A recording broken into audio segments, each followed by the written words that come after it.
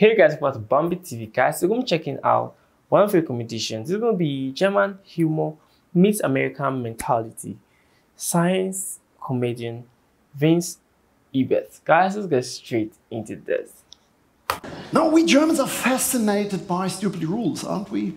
In our train stations, innocent smokers are forced to stand in small yellow squares painted on the floor in order to keep the non-smokers away from the poison. That's about as intelligent as dividing a swimming pool into a peeing and a non-peeing section.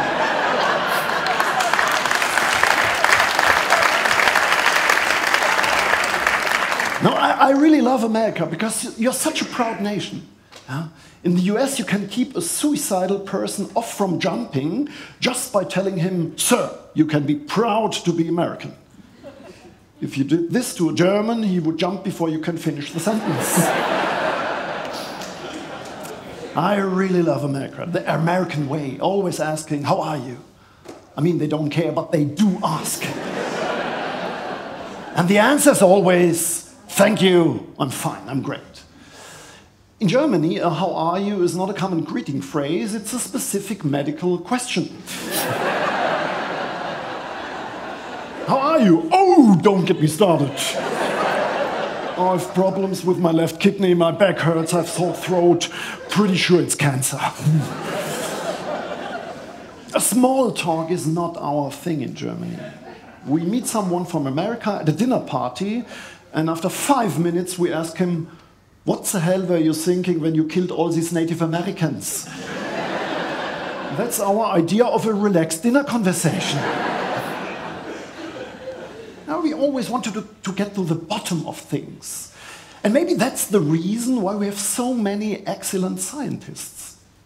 100 years ago, German physicists figured out that light is something in between a particle and a wave. Who gives the shit, Americans say? We just want to light up our rooms. Such an approach is way too superficial for us, because we wanted to know exactly what light is. Therefore, the German Max Planck developed quantum physics, whereas the American Thomas Edison only invented the light bulb. to be fair, without this invention, we would still be sitting around a candle watching Netflix.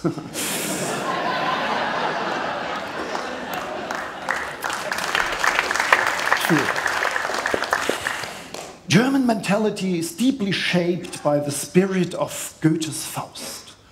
The desire to understand whatever holds the world together in its innermost faults. And I felt this desire too.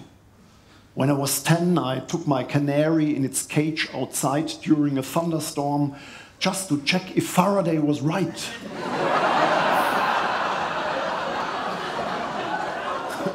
and he was. Uh, the bird wasn't struck by lightning, it died of a heart attack. anyway an American friend of mine said, Yeah, I know a lot of our people don't know anything about evolution. And maybe it's be because of our bad education system in America. Yours in Germany is much better. And I don't think it's true. I think we just have a different approach. Uh, in America, they say we go to school. In Germany, we say we go into school. So, we Germans enter our school buildings, Americans just hang out in front of them. maybe that's different. And don't get me wrong, also in Germany, there's a big lack of scientific knowledge. 45% of all German high school students believe that Voltaire invented the battery. I want to spend a year as an ampere in France.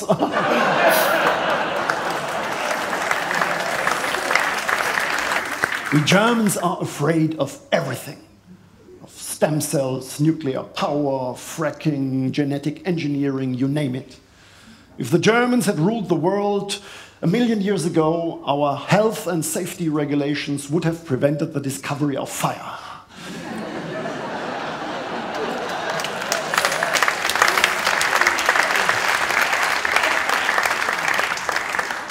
we are so full of fear. Before we go on holiday, almost every German takes out a Reiserücktrittsversicherung.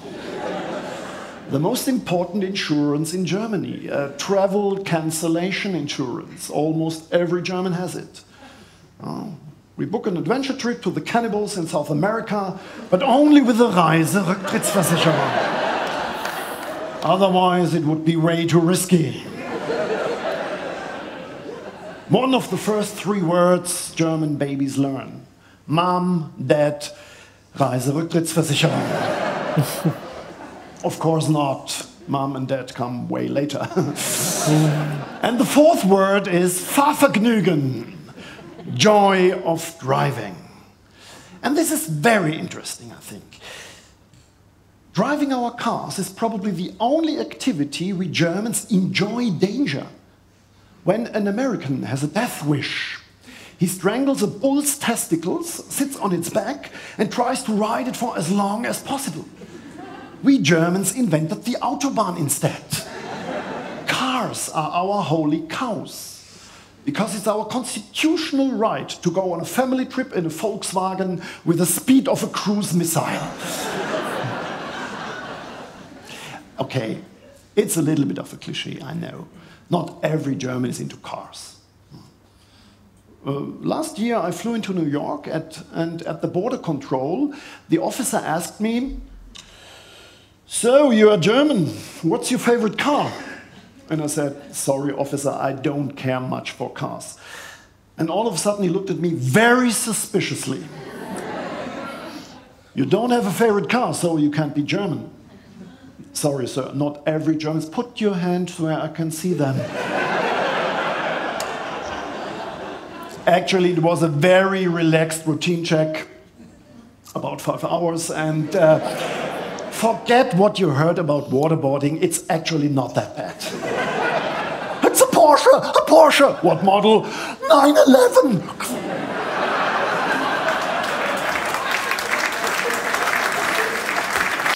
Yeah, this is hilarious. Like this is really, really funny. Like I, I enjoyed myself. I think it was kind of educative, but I don't think everything he said was true. But like it was educative and funny, and like this, this made me understand that Germans fear a lot. But I don't think that's true. But I guess the part that Germans love cars, but the fear a lot. I I don't really think that's true.